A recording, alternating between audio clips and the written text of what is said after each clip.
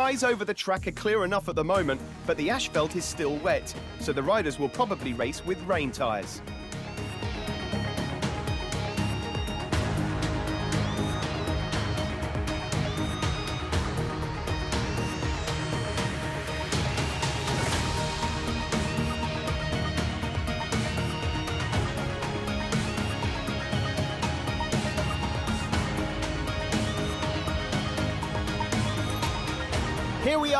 Live from the MotoGP class starting grid, where riders and engineers are talking over the last few details before the start of the race.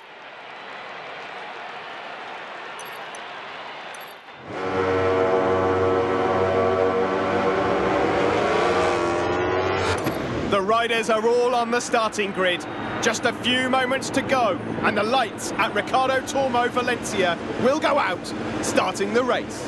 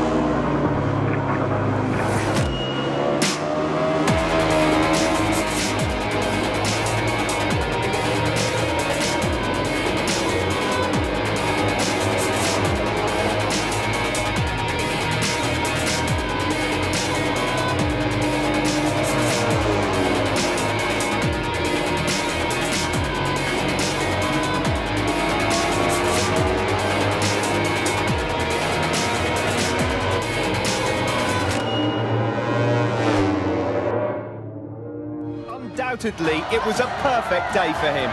In addition to the victory, his position also earns him 25 priceless championship points.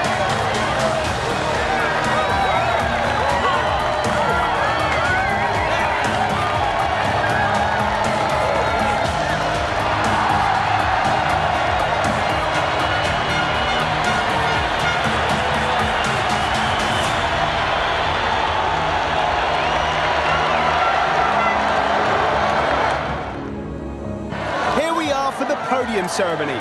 It's a weekend where everyone gave their all. But today, these riders have shown that they had a little bit extra in the locker. The crowd is going wild, and finally, they can enjoy this deserved moment of glory.